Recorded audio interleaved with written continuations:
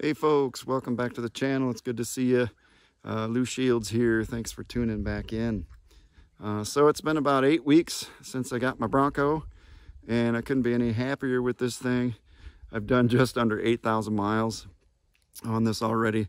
Uh, finally got my van back. It was broken um, right after I bought this thing. It, the alternator froze up and uh, I was just like, I just put all my money in the world out to get this doggone thing behind me. So the old Transit's going to have to sit for a bit, but now it's back and running and I can use it for doing work and music stuff. And uh, this one will be, you know, for fun and, and driving around in the driftless region and taking trips and doing a little trail riding as I originally intended. Um, but it was my daily for, for some time. Um, so I put more miles than I wanted to in the beginning, uh, but they were fun miles, that's for sure. And I drove this thing on the interstate on the super slab on the windy roads and everything else, you know, and um, so I was going to talk a little bit about that. And uh, for me, for what I'm doing, it's been awesome. Um, as I said, I have this big, you know, tall passenger van kind of deal, um, and I can fit anything I want in it. And so as a musician, uh, I had to really streamline my gear for playing music. I have a PA that I use and guitars and all kinds of stuff, you know, that I bring with me, banjos, whatever. And so I had to streamline that stuff down, which was great because it kind of forced me to go a little more minimal and uh, everything fit in the back, uh, that little two door back there.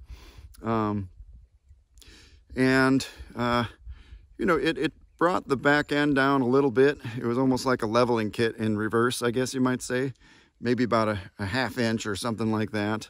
Didn't really affect handling too bad. I actually wheeled it with my full music gear kit in it. You'll see some videos coming up pretty soon uh, regarding some of that stuff, you know.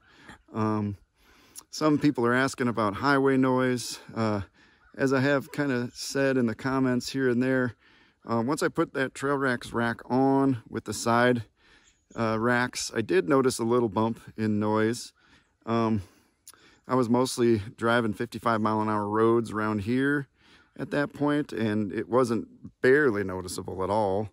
Um, when you hit 70 on the interstate, you can hear it, it's, it, but it's not as bad as having the window down, even cracked. You know, it's just like a slight wind noise. Um, when the wind is blowing and you're in a storm, well, yeah, definitely you'll you'll have some some noise going on there. But I'll tell you, I just drove through a big nasty storm in my sealed up transit van and that thing was just as loud if not worse in a windstorm that this would be. I, I, you know, I think any car is going to be like that that is not a luxury vehicle with all kinds of sound deadening interior. So you know I would say don't let that detract you from buying one. You just got to remember that this is a removable top and it's it's you know an off-roader. It's it's not meant to be luxury. Uh, and, and of course the price is ridiculous but the price on all cars are, is ridiculous now. This was the base model, you know, and, and uh, technically with the Sasquatch and barely any extras, this thing was coming up to 39,000 when I bought it, you know, so um, for me, I've never spent that much money in my life on a vehicle. Sadly, that's almost average or just a little above average, you know, as they say. 30, I think $30,000, $27,000 is as cheap as you're going to get for a lot of vehicles now. Um, but most vehicles aren't going to do what this thing does, you know, and, and uh, that extra Sasquatch package was totally worth it for me. Uh, and, you know, I just can't say enough about how capable it is right out of the box.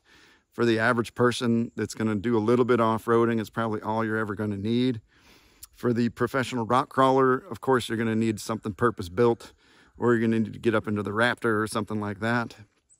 Um, you know, but for, for most of us, you know, this is awesome. it's so fun.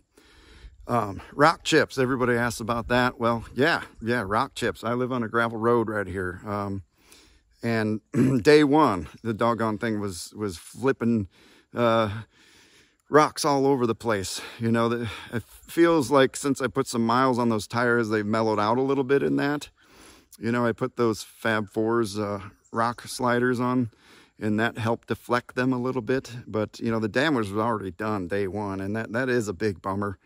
What else could I do? You know, the thing, I hadn't even signed the papers on it and I already had rock chip damage, you know, and it was just ridiculous. So for those of us that are rural, I don't know what we're going to do. We're going to probably have to do some repainting and some some other kind of thing to put on the bottom, you know.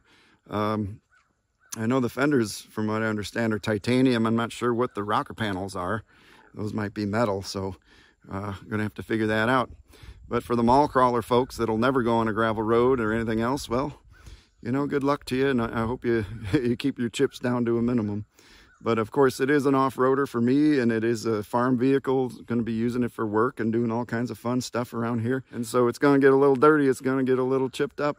You know, that's just how things go with these vehicles. All I can say is I'm glad I got what I've got now, and uh, thankful for that. Hope this video helps a little bit.